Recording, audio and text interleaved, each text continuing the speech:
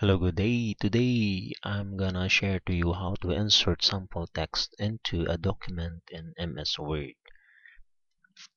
So you can use this if you are going to make sample document or you are going to demonstrate to your students and you need sample text. Basically there are three ways to do that.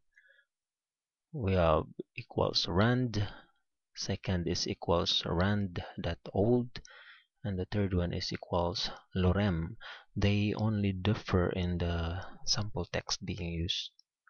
To demonstrate that to use rand I just type equal sign then the rand and then the open and close parenthesis and press enter. And there you go you have some sample text. If you wanted to limit the number of paragraphs and sentences or lines within a paragraph. You just simply type use the formula p comma and l wherein p is the number of paragraph and l the number of sentences or lines. For example i wanted to have three paragraphs with four sentences each. So that will be three paragraphs with four sentences each. So that is for rand.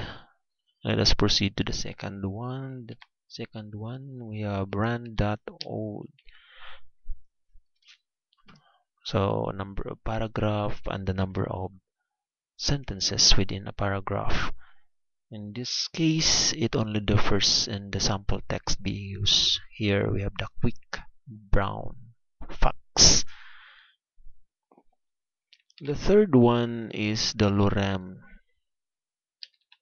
which use the very well-known lorem ipsum sample text. So equals lorem open parenthesis the number of paragraphs comma the number of sentences and the close parenthesis there you go. So i hope that helps and that is how to insert sample text into a document in microsoft word. Thanks for watching